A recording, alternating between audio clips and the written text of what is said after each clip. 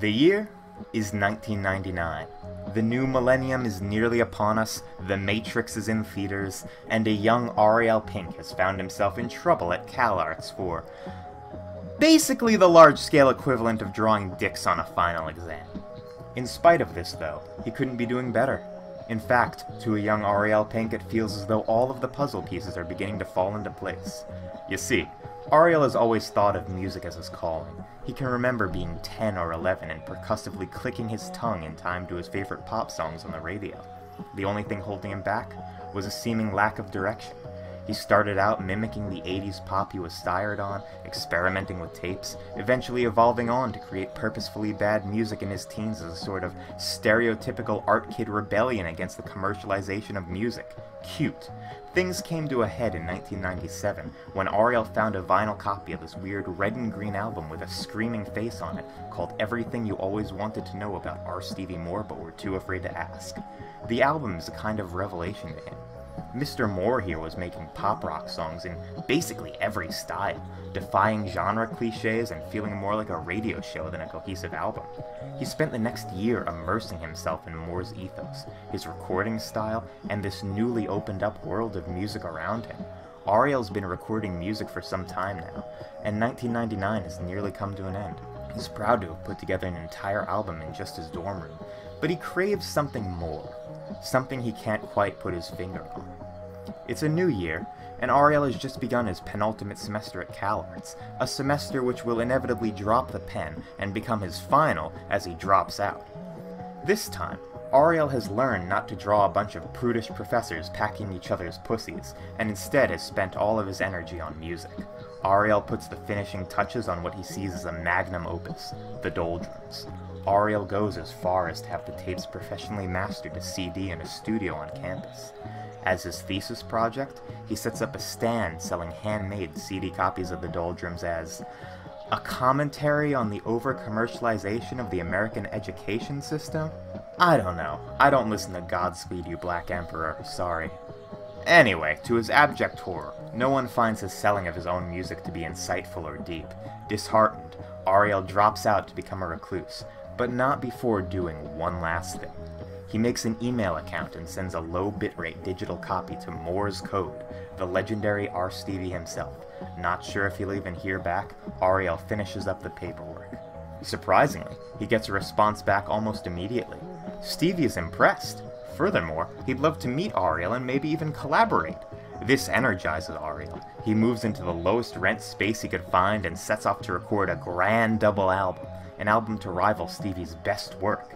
Pure, shredded, drugged up, insane pop tunes fueled by nothing but raw emotion and a devotion to the craft. This is the story of that album and the profound effect it had on a community of internet weirdos who were never even given a chance to purchase it. This is the story of Ariel Pink's Haunted Graffiti 3 and 4, Scared Famous slash Fast Forward.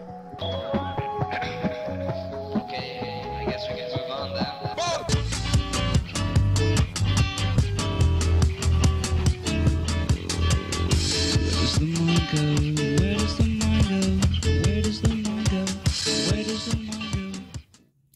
I set out to make this video, I knew bits and pieces, anecdotes here and there about the making of the album, but I spared no expense and went straight to the source. I sent Ariel Pink himself a message, begging him to tell me anything that could be helpful about the making of this album. And he never got back to me. I went to R. Stevie Moore, someone whose very being is tied to the soul of this album. And he didn't really have anything to tell me, to be honest. I went to Slugbug, someone whose knowledge of Ariel's taping and history is unparalleled thanks to his work on the Archives Project. And he kinda dodged my question and went on with the conversation. I'll be honest, guys, I was getting kind of demoralized here. I didn't want this to just be some shitty little six minute video where I gave a bunch of Did You Know Gaming facts about the album and that was it. I wanted it to be something special. And that was when it occurred to me the making of this album, the recording surrounding it, that's only a bit of the story, a fraction of what it really means to me. Also included that tale are what the album means for myself personally and how it influenced a generation of creators on the internet still going to this very day. And that's the story I want to tell. Yes, of course, this album has a fantastic history to it that I hope to do some justice to in this video, but also I want to explore the scene that's cropped up from this album. To fully understand this album, we first need to understand where it comes from. The Ariel Pink of 2001 was a very different man from the one we think of today. In place of the long, flowing dyed hair and sparkling sequin suits, lived a reclusive 20-something with short, naturally brunette hair, gray sweatpants, and whichever color of ragged, tattered jacket he decided that day. He didn't have much of a life yet. He was still trying to find his footing in a brand new town. During this period, Ariel's days consisted mainly of two things. He would leave in the morning and go to work at his job as a record store clerk. Then, after he was through with that, having nowhere else to go, Ariel would head back to his tiny apartment in a communal living space above an ashram. At this time, his whole life was music. The music he'd loved as a child, the music that moved him that he discovered through his new job, and the music that he was trying to make. Ariel would discover new albums through his job and pore over the liner notes to look for all their special thanks and influences. He would then dig into those influences and see where those liner notes took him. In a pre-internet world, this was the closest thing Ariel could get to diversifying his tastes through, say, rate your music as we would nowadays. Upon hearing this, one might wonder where Ariel's lyrics came from exactly. There are many musicians and creatives in general who will tell you that their writing comes from life experience. And in fact, there's a large subset of people on the internet right now, people who I'm convinced have never had a creative thought in their entire life, who believe that you can't write about something you've never experienced. In this sense, Ariel's music of the time stands in direct opposition to this sentiment. I remember around 2016 I had messaged Ariel Pink on Twitter asking him about the song 22 Eyes and if it came from some real life shitty relationship he was in, and Ariel Pink replied telling me that all of his songs didn't come from life experience, they were written directly in spite of it. In the early 2000s, Ariel may have been an outcast who had little semblance of a life, but this wasn't a hurdle to overcome in writing his music, it directly contributed to it. Ariel Pink's music didn't come from some life experience. It's far greater music than any life experience could create. In fact, I think that at the time, if Ariel did have a normal outlet, such as friends or parties to go to, then he wouldn't have had all these thoughts and feelings swirling around in his head this music, this incredible double album that is Scared Famous and Fast Forward, they come from all of these feelings with no outlet, compressed into this otherworldly space goop that's been burned to a CD. Scared Famous and Fast Forward are not a portrait of the world Ariel was living in. Instead, they're a musical transcription of what his world felt like, how it felt to be in his head. There's an interview that was conducted for the liner notes of the Ariel Archives reissues, where Ariel states that sometimes he would just, in the moment, scratch down whatever lyrics he felt went best to a track, and then after that he would decide to never revise them to keep them as this sort of preserved fossil of where his mind was. This approach, I think, leads to what I love so much about this album. It feels like Ariel's bearing his soul in the song's lyrics. Each of the songs you can tell comes from part of him, even the songs that are, as he said, written in spite of life experience, songs like 22 Eyes or more psychedelic and abstract tunes like Gopa Kapu Ko, still come from deep within Ariel's soul. Songs like Where Does the Mind Go, The Lament of Edward Boggles, and Death Crush 99 are all about how weird and bizarre and separate from humanity Ariel felt. The loneliness Ariel felt spurring from this isolation is delved into on tracks like A Tomb All Your Own, Privacy, and Inmates of Heartache. Yet this feeling of aloneness hasn't made Ariel bitter. The album is still peppered with syrupy saccharine love songs like Talking All of the Time. Throughout the album, you see bits and pieces bleeding through of his own influences. Of course, there are the R. Stevie Moore covers. A few of the tracks across the double album are even built upon R. Stevie Moore songs, all from a 1985 tape called Skeletons, comprised of ambient instrumentals and basic drum tracks. I think during the making of this album, Ariel felt a certain kinship with R. Stevie. R. Stevie was always using his music as this sort of scream out into the void to try and find people like him, Stevie himself feeling like a total outcast in his own hometown. Throughout his early output, R. Stevie made sometimes cynical and sometimes sincere pleas for people to follow his example and do what he did. The song Copy Me off of 1978's Pow Wow seems a particularly poignant example. However, with the release of 1985's Skeletons, R. Stevie was truly throwing down the gauntlet, and Ariel had truly risen to the occasion. Over the years, Ariel was always recording his own songs in his own time, recording in a variety of styles, constantly arranging and rearranging these songs into albums, sometimes creating fake song titles and even fake album titles and album artwork based on this. In some ways, though, Scared Famous and Fast Forward would be his first attempt at truly creating a cohesive album. Floating around the internet, you could find a sketch outlining an early tracklist for the then titled Scared Famous double album. On this tracklist, we can see Ariel carefully conceptualizing the placement of songs, thinking about which ones fit together in style and vibe, trying to pair together long and short songs in an ebb and flow that sounds like something of a cohesive album, and overall trying to create a more ambitious work, one that feels like a truly singular work. In the past, Ariel had received help from friends, whether they be like John Maus on Underground, almost a member of the band, or just friends offering inspiration or instrumentation here and there. But none of that would be heard on Scared Famous and Fast Forward. It would be a truly singular work, chronicling Ariel's thoughts and feelings in ways he only knows how to do. Because of this, the album also really sounds like nothing out there. It's the ultimate piece of outsider art. Ariel was making it with no inspiration, no connection to the outside world, just art made completely from his thoughts and feelings and what he was into at the time. Oftentimes, people will make what they call outsider art, and they're trying to go directly against the grain. But really, that's still art influenced by what's popular. After all, working directly in spite of something is still feeling its influence.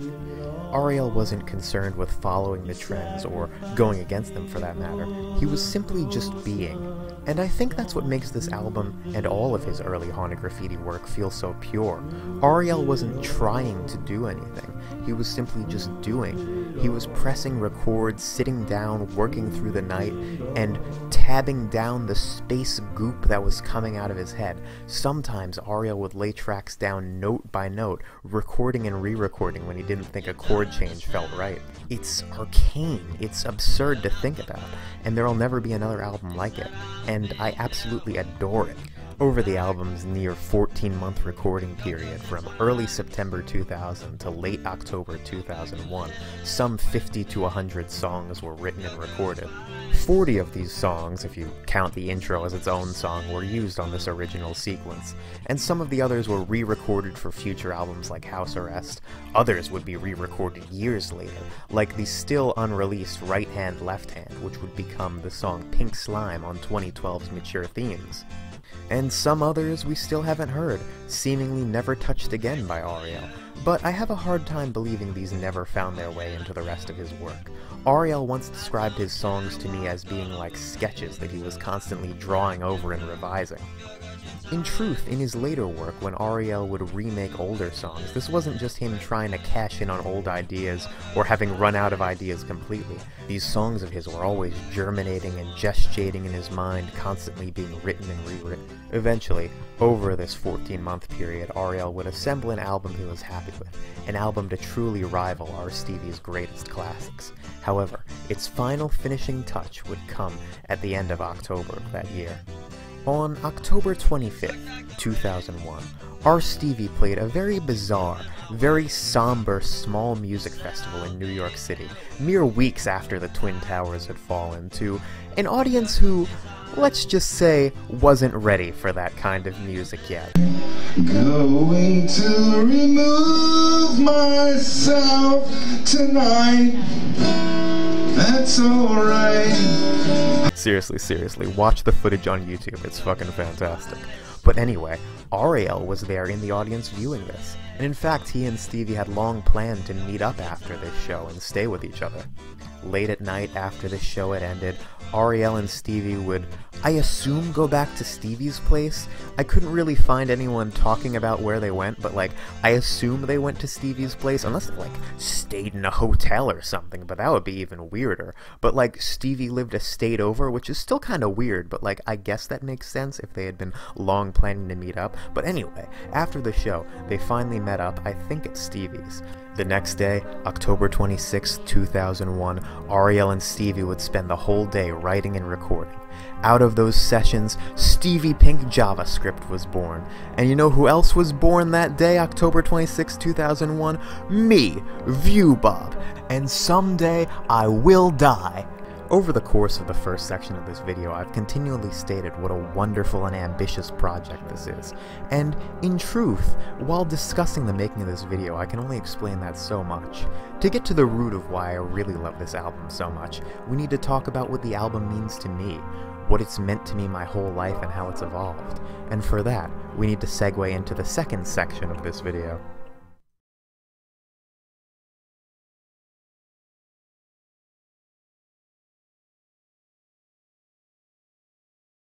I often find myself talking at length to whoever will listen about how Scared Famous slash Fast Forward is my favorite album of all time, how it changed my life. And while certainly a lot of that life-changing quality it had for me is owed to the fact that there's nothing quite like it, no album that really sounds just like it, hell, during the making of this video I learned that the metallic buzzing synthesizer sound that sits at the heart of this album's unique feel was made by taking a synth-based preset on Ariel Pink's Casio CZ101 keyboard and pitching it up as far as it would go so it sounded like a soloing instrument.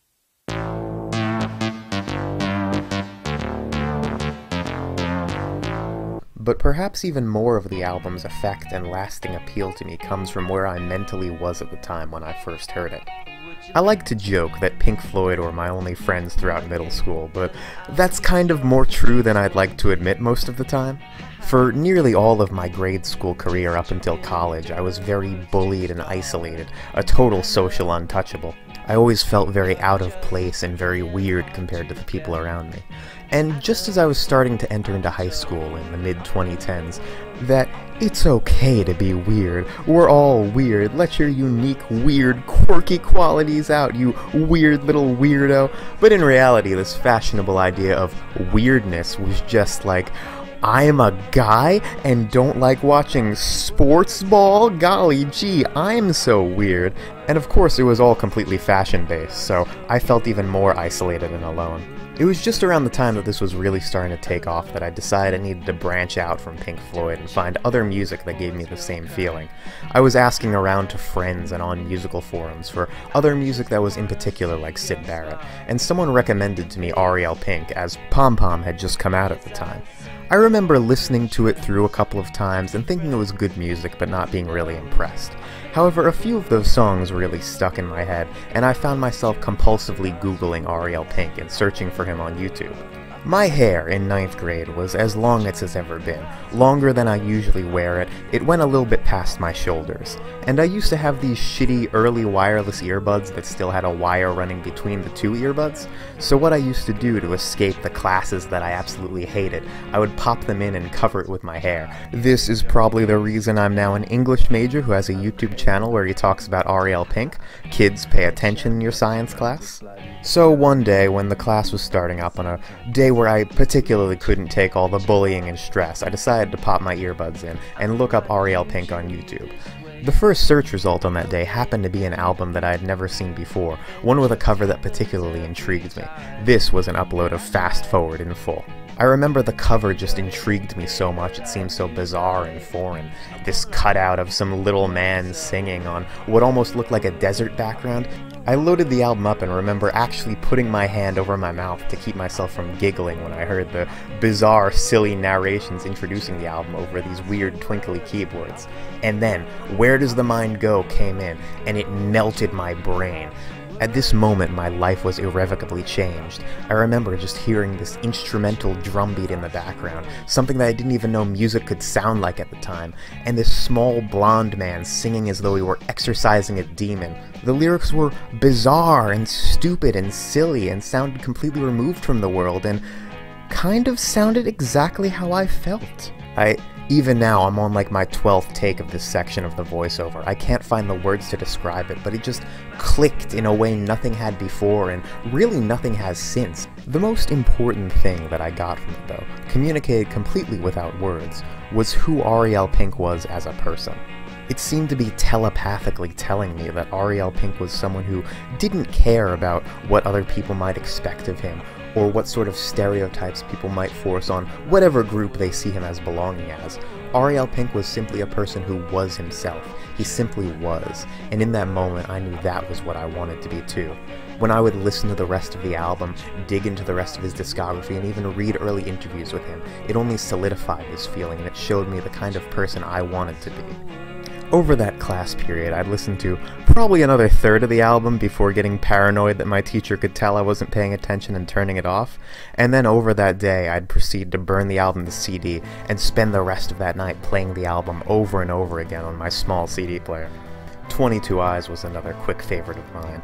It was such a fast, rockin' tune, probably one of the hardest that I was into at the time, and I was just addicted to it. It was the first Ariel Pink song that I knew all of the lyrics to, and I would just sing them to myself over and over again when I was walking through the hallways at school. Are You Gonna Look After My Boys is a song that it took me a long time to come around on, and to be completely honest with you, I'm still just kind of meh on Inmates of Heartache, but still they seem to only add to the album. These tracks that were by all means just throwaways to me seemed to only add to the album's character and personality. It seemed to make it feel more human, more alive, and made me feel even more in love with it. The next song on Fast Forward, however, Make Room for Harry, was an instant hit with me. I remember it clearly. You see, my family has a long going back tradition of doing pizza nights every Friday night, which coincidentally was the day that I discovered this album. So naturally, after school let out, I was in the car with my dad on the way to the pizzeria, and I decided to load up the rest of Fast Forward on my phone. As Make Room for Harry blared through my headphones, me hearing it for the first time, I stared out the window. The sun was going down, the day turning into dusk, and the first snow of the season was falling around me. I watched out the window in wonder as the cold white blanketed the earth around me, and Make Room for Harry almost felt like it was what was keeping me warm and keeping me safe from the weather outside. It felt as though I was in a thin but very cozy log cabin looking out at the world around me. It also helped the song really rocked and was actually really funny. It's one of the first times I really remember laughing at a song I liked.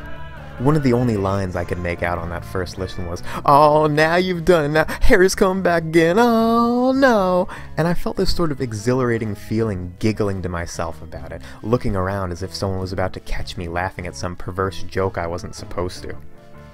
My dad returned to the car, pizza in tow, almost completely on cue with the song ending. Driving home, I felt myself unwind with the slow beginning of the list, but it built to this triumphant crescendo that felt fitting for bringing my favorite meal of the week home. The next three songs on the record, My Molly, Howlin' at the Moon, and Beef Bud, were another three that I took a while to come around on.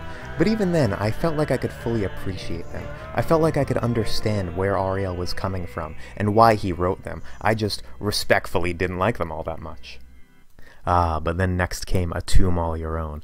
This song, in all of my sad, mopey isolation, was my theme song for a long time.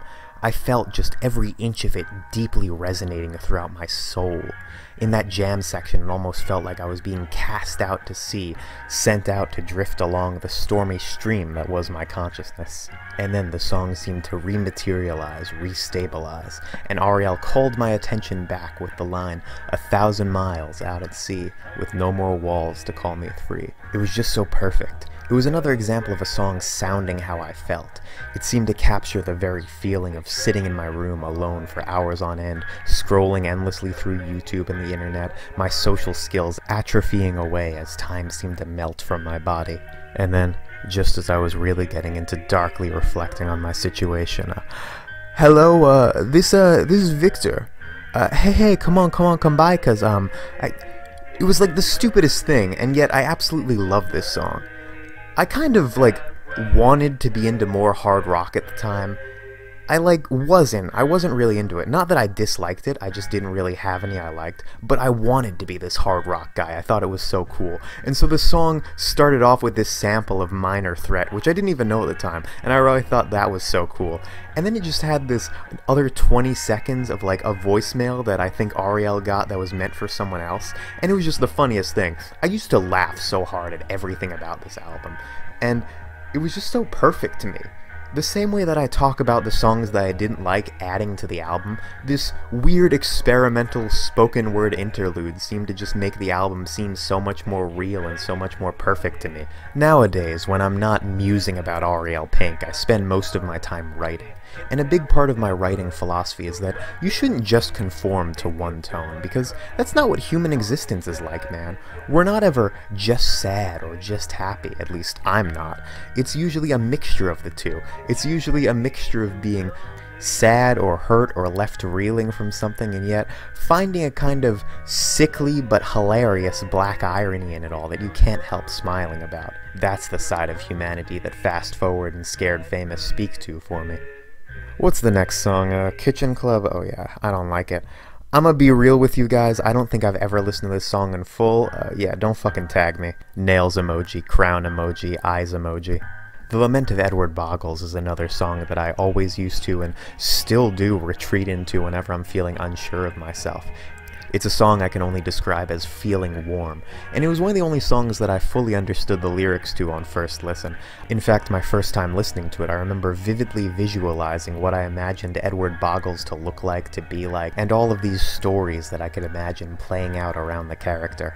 Tracks 14 through 18 crying, talking all of the time, girl in a tree, Jesus Christ came to me in a dream, and one more time, were all these anthems that I would constantly hum to myself.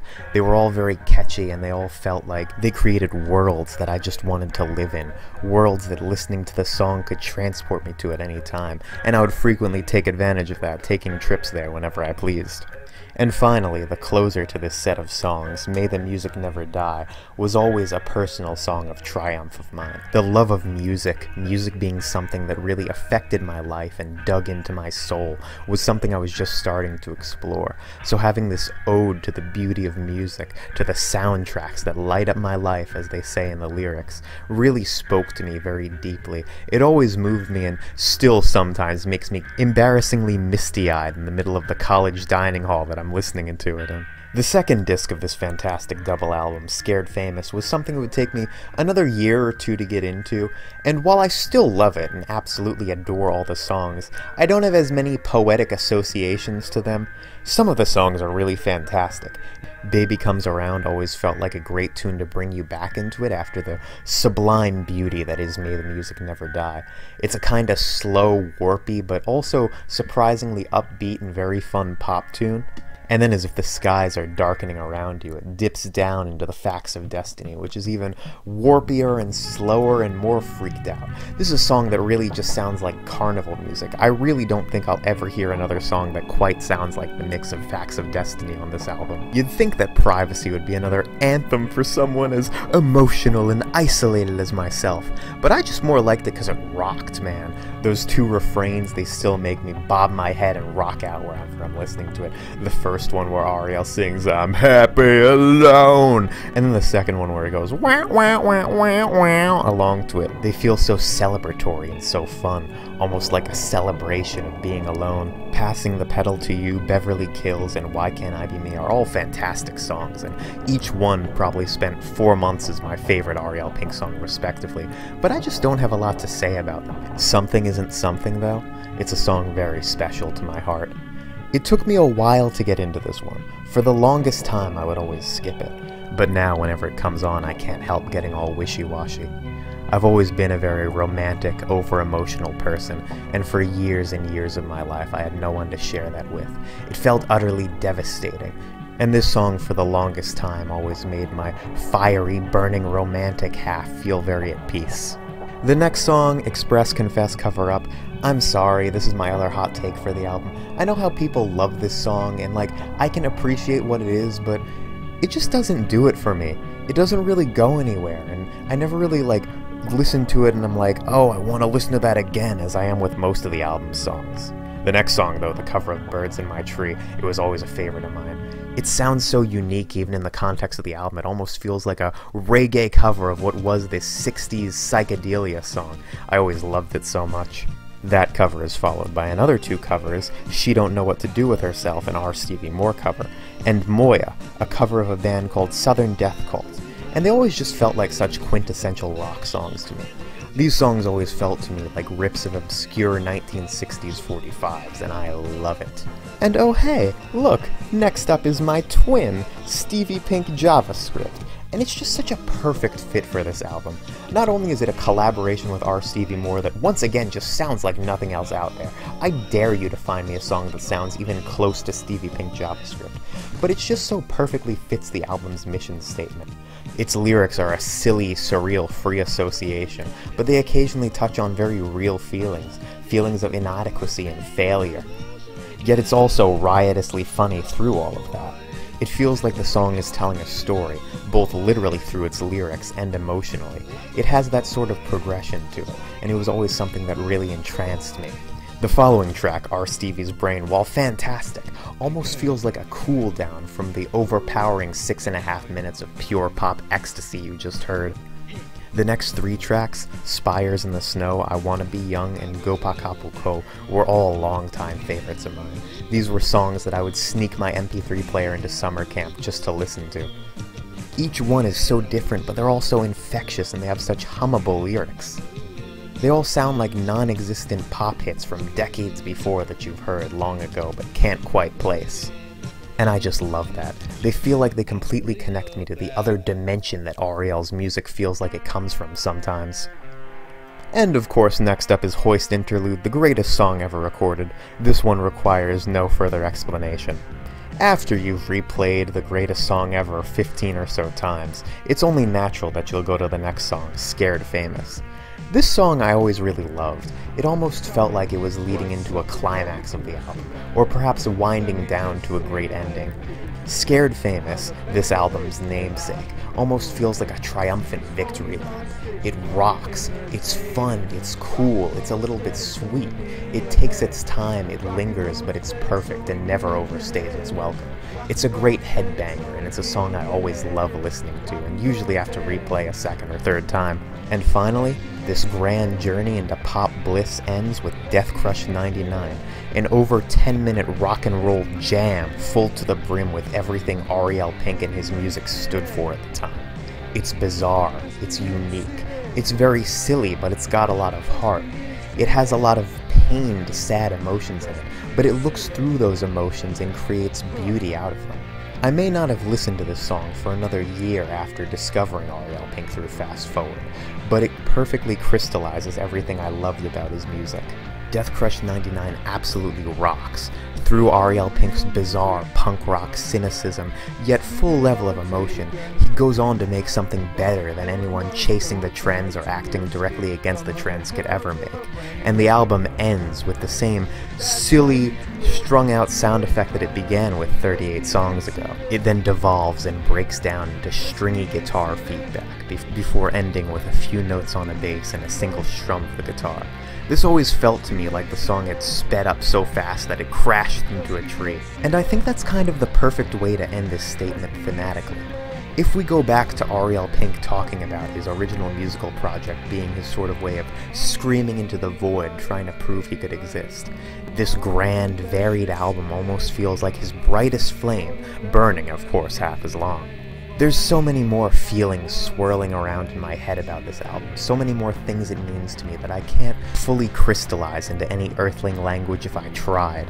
Instead of that, though, I will urge you, the listener. If you've never listened to this album, or only listened to it once or twice, or maybe never in its original form, to go to the description. Above all the stupid things I have to say and even the track list, I've put a link to download the album. It's a brand new rip made by none other than Slugbug himself of the album in pristine wave format. Listen to it, it'll change your goddamn life. This new wave rip, while it may not seem like it adds much to the album, being very thinly mixed, it gives the album every instrument on it so much more room to breathe. That metallic, twangy synthesizer that makes up the heart of the album's sound has so much more room to exist, and the thin psychedelic syrup that the album sounds like coalesces into something so much more goopy and beautiful that will overtake your very brain.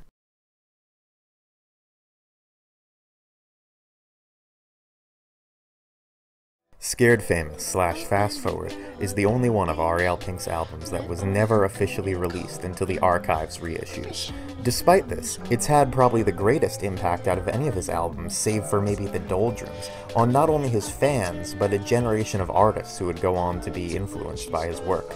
Even though its sweeping 38 tracks were far too much of a task for any label in the mid 2000s to handle, Scared Famous slash Fast Forward has appeared online through Soulseek many times. The fact that it's only been bootlegged and uploaded to websites as rips of CDRs and tapes acts as a sort of filter for Ariel's greatest fans. It was only ever found by those seeking more, who wanted more of Ariel's madness, and thus it was able to influence those which it would have the most power over. Quickly, once it was discovered, word spread of it through sites like MouseSpace and other YouTube comment sections as this great hidden gem of Ariel's work. Scared Famous slash Fast Forward quickly became a rite of passage for all Ariel Pink fans. And it's easy to see why. The album is strange and inaccessible and beautiful and has some of Ariel's most fantastic melodies.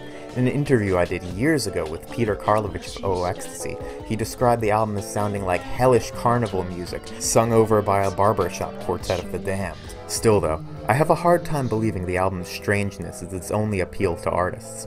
It's not just Trout Mask replica for the new millennium. Something I noticed about this album while making this video, it's the only one of Ariel Pink's albums that doesn't have a concrete theme, a concrete aesthetic. The Doldrums with all its keyboard-bathed dark harmonies sounds like a night spent in a rainy, magical forest. House Arrest is a jangly folk pop album on acid, and Worn Copy is a molten hot trip through the annals of the human psyche. Scared Famous and Fast Forward, though, they don't have one feel, they don't conform to one aesthetic. They're Ariel Pink's White Album, his mission statement. They include brand new songs, covers of some of his all-time favorites, collaboration tracks, and even a recording he made when he was 12 years old. It's a very free and unique listen. It almost sounds like a retrospective on Ariel's life to the point, and I think that's the most influential point of it. It's complete, unrestricted, unrestrained creativity. Creativity not out of spite or sarcasm, but solely out of love for music. It's art made solely for art's sake, art that sounds like nothing out there and nothing will ever sound like it again. And I think that's why, even though the album has never, ever in its past 20 years been released in its original intended tracklist, and probably never will because no record label has the balls to release an album like this. Despite that fact, it will still continue to connect with the people who listen to it for generations to come, influencing their creativity or just teaching them how to be themselves without even saying it outright. That's the beauty of this album. That's why I fell in love with it, and that's why you should listen to it too if you haven't already. Well, that just about wraps it up, doesn't it? Oh, who am I kidding? I know there's one last big question that's been burning away in all of your minds, and let's just get it right out in the open. Let's address the elephant in the room. If Fast Forward and Scared Famous were two women of equal attractiveness, which one would I date? Now, this is an important question that I myself have thought long and hard on. My immediate knee-jerk response is to say Scared Famous, of course. I mean, she would be more slick, more cool, a bit more gothic, a bit more interesting. But I don't know if Scared Famous as a person and I would completely jive together, you know? Like, a good relationship, I think, is based on being almost completely intertwined in sensibilities with who you're with. Someone who you just feel completely gets you, gets your view of the world, and vice versa for that person. And I just feel like Scared Famous and I would disagree on too many fundamental philosophical issues, you know? I feel like Scared Famous is more focused on her style and what she should do more than anything. And that's not really something that I could get down with in a long-term lasting relationship, if I'm being completely honest. Sure, she's got a lot of cool songs, like the Moya cover and Death Crush 99, of course, and she's got a lot of interesting covers, but I just don't think that at the end of the day we get along too well. And then I got to thinking about how Fast Forward really feels like she would be made for me, you know?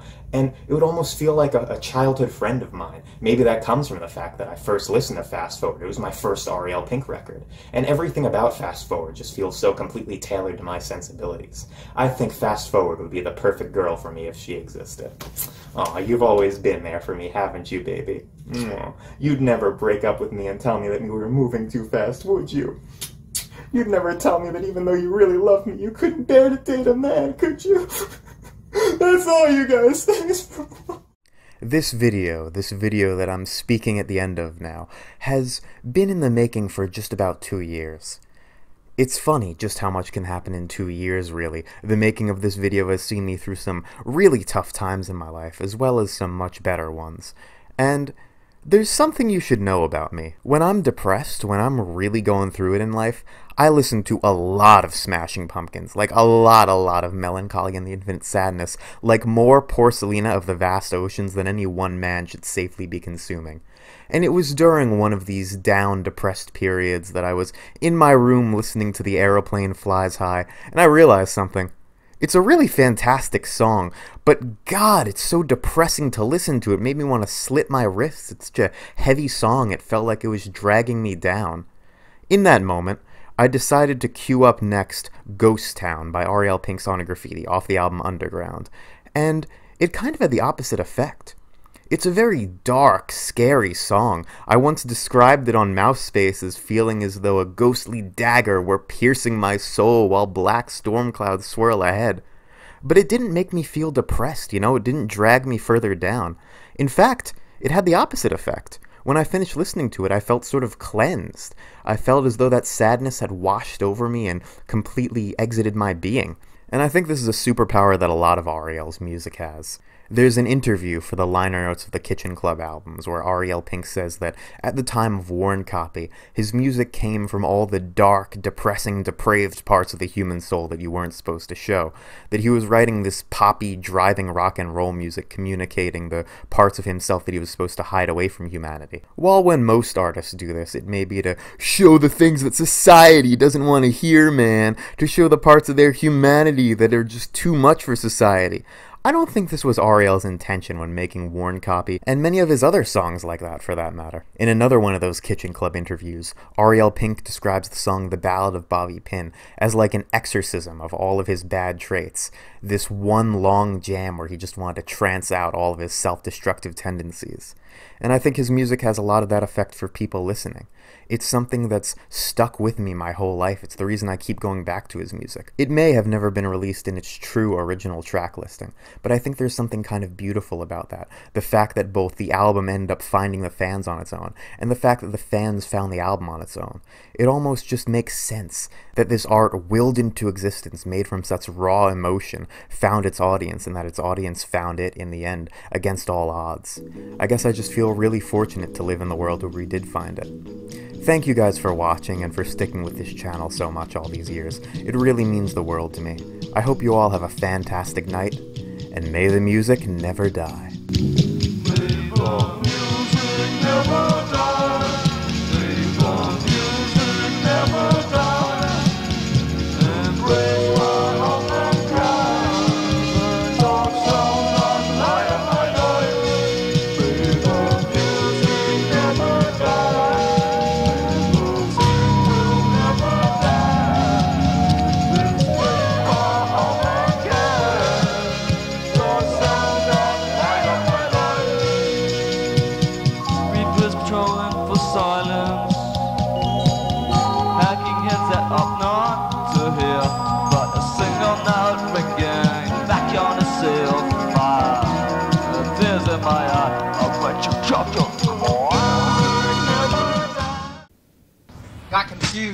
Second.